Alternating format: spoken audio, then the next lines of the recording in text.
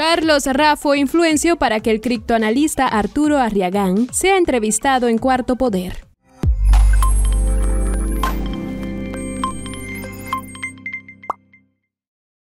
A través de una columna en el portal internacional The Washington Post, el periodista y escritor peruano Diego Salazar reveló cómo el supuesto especialista en criptoanálisis, Arturo Arriagán, llegó al set de Cuarto Poder el pasado domingo 20 de junio para que sea entrevistado y se desplaye hablando sobre el supuesto fraude ocurrido en la segunda vuelta de las elecciones 2021. Como se recuerda, dicha entrevista realizada por Mávila Huertas y Mario Givellini, al marino en retiro recibió diversas críticas por parte de periodistas, políticos y usuarios en las redes sociales y la propia exconductora del programa dominical tuvo que salir al frente a realizar una autocrítica luego de que no se encontrara evidencia de fraude durante el balotaje. En resumen, dice, tras una valoración objetiva de los métodos, los únicos análisis robustos presentados hasta la fecha han sido el de Ipsos, el de Ipsos, con el que trabaja este canal, y el del profesor investigador Pablo Lavado de la Universidad del Pacífico. Ambos no encontraron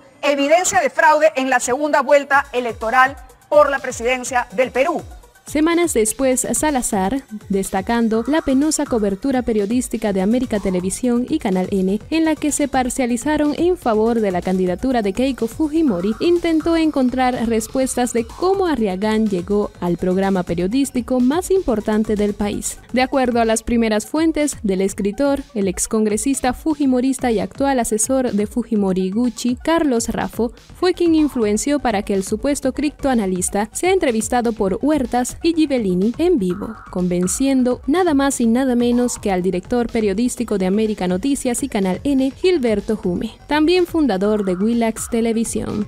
Hume confirmó la influencia de Rafo. A fin de corroborar la información, Diego Salazar logró comunicarse con Hume y este le confirmó el hecho refiriéndose que el ex parlamentario del Fujimorismo le sugirió para que entrevistaran a Arriagán. Rafo me lo sugirió. Rafo me dijo acá un marino que es un genio de las matemáticas, que tiene una investigación que demuestra, etcétera, etcétera. Al cuestionarle del por qué sentó a alguien que insistía con una conspiración de fraude sin pruebas, Hume le respondió, ¿cuál es el problema que yo presente a un loco que habla locuras? Es divertido. ¿Cuál es el problema? Simplemente lo que le molesta a las redes y a mucha gente es que el tipo estaba a favor de Keiko Fujimori. En otro momento del diálogo, el también fundador de Canal N insistió, yo no veo realmente ningún error en invitar a una persona que de repente resulta un loco, porque la televisión también es un show. La televisión, aparte de lo periodístico, también tiene parte de show. Si el responsable de los dos principales canales